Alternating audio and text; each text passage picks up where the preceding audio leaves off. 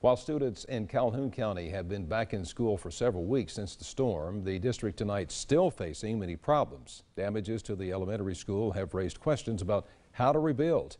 News 13's Ashton Williams says the district is weighing its options. Before Hurricane Michael, the Calhoun County School District requested to have a financial analysis done to see how they can better use their state funding. Hurricane Michael came, that sort of changed the picture. Now we're down a school.